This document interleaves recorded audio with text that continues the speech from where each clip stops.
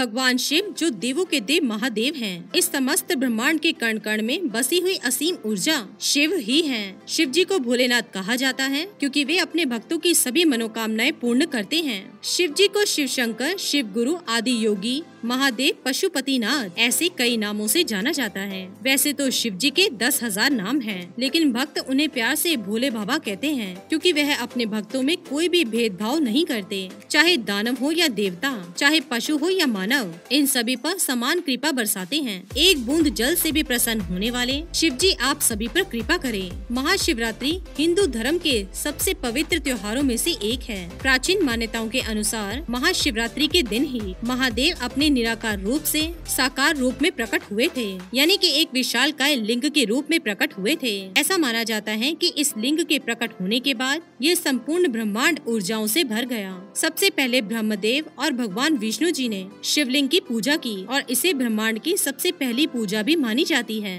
उसके बाद माँ सरस्वती, माँ लक्ष्मी, देवी रति और माँ गायत्री ने शिवरात्रि का व्रत रखा। और इस व्रत को संसार का सबसे पहला व्रत भी माना जाता है। और इसी कारण शिवरात्रि का बड़ा ही महत्व है। और एक प्राचीन मान्यता के अनुसार माँ शिवरात्रि को माँ पार्वती और भगवान शिव का विवाह संपन्न हुआ था। इसलिए शिव भक्तों के लिए महाशिवरात्रि का बड़ा ही महत्व है। जो भी भक्त महाशिवरात्रि की रात भर जागकर शिव जी की आराधना करते हैं शिव जी ऐसे भक्तों पर अपार कृपा बरसाते हैं और उनकी सभी मनोकामनाएँ पूर्ण करते हैं। भोलेनाथ अपने भक्तों पर जितनी जल्दी प्रसन्न होते हैं, उतनी ही जल्दी क्रोधित भी हो जाते हैं। इसलिए हमारे शास्त्रों में महाशिवरात्रि के दिन कुछ कार्यों को करने से वर्जित माना गया है। अगर कोई भी व्यक्ति शिवरात्रि के दिन ऐसे काम करता है तो वो शिव जी के दंड का अधिकारी बन जाता है। इसलिए भूल कर भी इस दिन ये पाँच पाप ना करें, नहीं तो जीवन भर दुखों का सामना करना पड़ सकता है। तो आइए जान लेते हैं कौन से हैं वो पाँच काम जो शिव जी को क्रोध दिलाते हैं। पहला काम है पशु हत्या।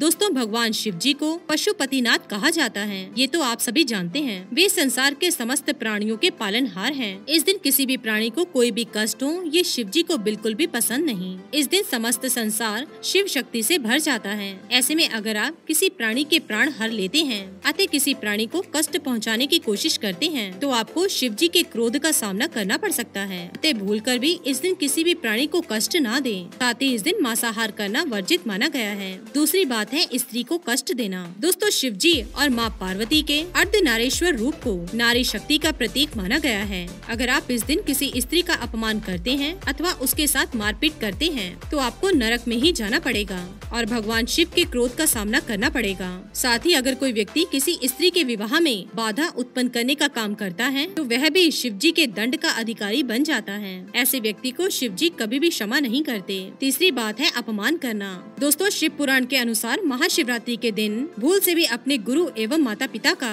अपमान न करें। शिव जी को आदि गुरु कहा जाता है। अतः वह इस समस्त संसार के सबसे पहले गुरु हैं और सृष्टि के पालनहार होने के कारण वे सभी के माता पिता भी हैं। अगर कोई भगवान शिव को अपने माता पिता मानता है तो भूल से भी इस दिन अपने माता पिता एवं गुरु का अपमान न करें। अगर आप ऐसा करते हैं तो इसे शिव जी का अपमान माना जाएगा। चौथी बात है दोस्तों, प्रणय करना। महाशिवरात्रि के दिन मन और तन दोनों को पवित्र रखकर अपना ध्यान शिव की आराधना में लगाना चाहिए। इस दिन कोई भी ऐसा कार्य न करें जिससे आप अपवित्र हो जाएँ। इस दिन भूलकर भी किसी स्त्री के साथ शारीरिक संबंध ना बनाएँ। ऐसा करना वर्जित माना गया है इस दिन रात भर जागने की बजाय अगर आप भोग विलास पे मन लगाएँगे तो शिव की कृपा से वंचित रह जाएँगे पांचवी बात है फ़ायदा उठाना दोस्तों, भगवान शिव भोलेनाथ हैं। वे अपने सभी भक्तों का ख्याल रखते हैं। अगर आप भूल से भी किसी नादान व्यक्ति का फ़ायदा उठाते हैं तो ये आपके लिए बिल्कुल भी ठीक नहीं होता। शिव जी ऐसे व्यक्ति को कभी भी क्षमा नहीं करते, जो किसी भोले या नादान व्यक्ति का फ़ायदा उठाता है अथवा पैसों को लेकर धोखेबाजी करता है। शिव जी ऐसे व्यक्ति को दंड के पात्र ही समझते हैं। तो दोस्तों, ये थे वो पाँच काम, जो हमें शिवरात्रि के दिन नहीं करने चाहिए।